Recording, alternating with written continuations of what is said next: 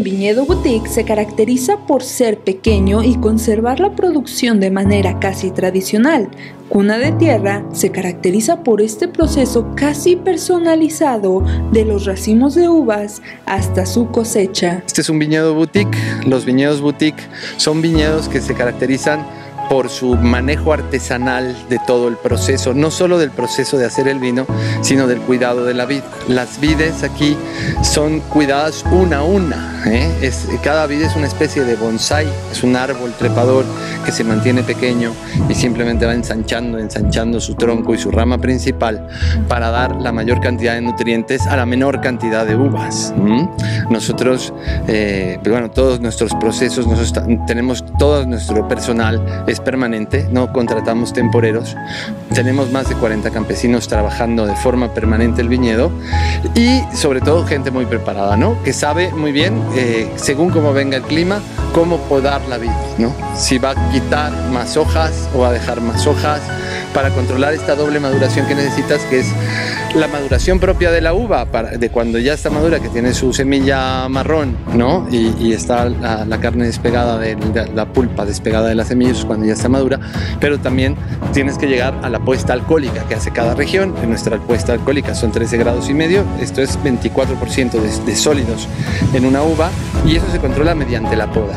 Leche es manual en pequeñas cajas de 12 kilos, no se pone, nunca hacemos esto que ves en los documentales, de ir con una cesta y vaciar las uvas en una tolva, porque las uvas de abajo se comenzarían a fermentar.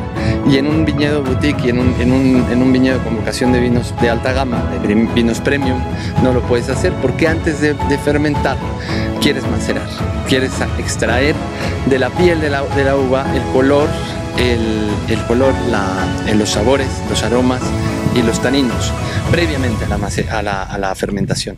Se llama maceración prefermentativa. Entonces, ¿nosotros qué hacemos? Nosotros cosechamos en pequeñas cajas, los llevamos a una cámara de frío, esto se llama trasnocho de la uva, hacemos un trasnocho, allí hacemos un doble check de la doble maduración y después, eh, racimo a racimo, las chicas sentadas, no en una banda transportadora, sino sentadas tranquilamente, van quitando aquellas uvas que, las, que, pues que, que los pájaros han picado, las abejas, algunas están a lo mejor verdes o alguna otra se fermentó eh, por sí misma, se pudrió o tiene hongo.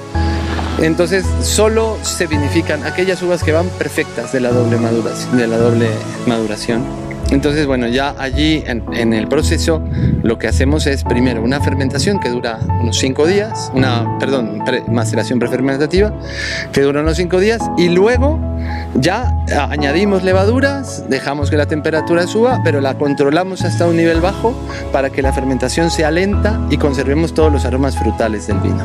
Necesitamos nosotros siempre conservar esa cadena de frío mediante el trasnocho y, y hacer una fermentación lenta para conservar sobre todo los aromas frutales. hacemos un ensamble de terruños. Nosotros tenemos los varietales repartidos por los distintos bloques o tablas y entonces los fermentamos todos por separado y los añejamos también por separado.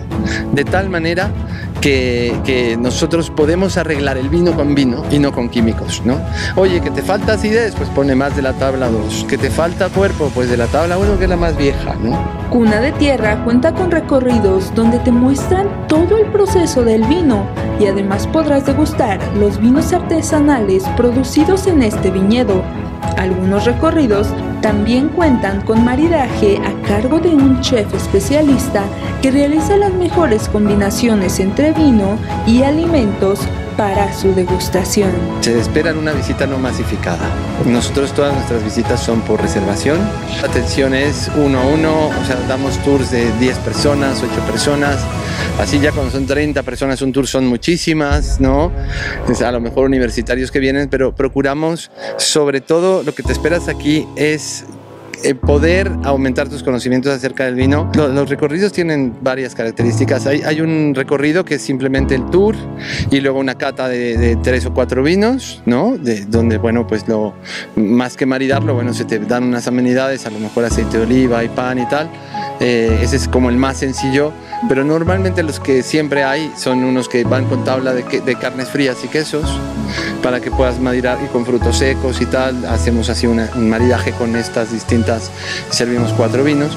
Y el que más consumo tiene es el de la comida maridaje que son cinco tiempos maridados. Diseña platillos especiales para cada vino, de tal manera que puedas tener una experiencia de maridaje de cómo marida un vino con X plato, ¿no? Un recorrido único y sabroso que no podrás olvidar. Visita y conoce la ruta del vino dentro del municipio de Dolores Hidalgo para el sistema de noticias de TV Libertad con imágenes de Irma Valderas, informó Celeste Ortega.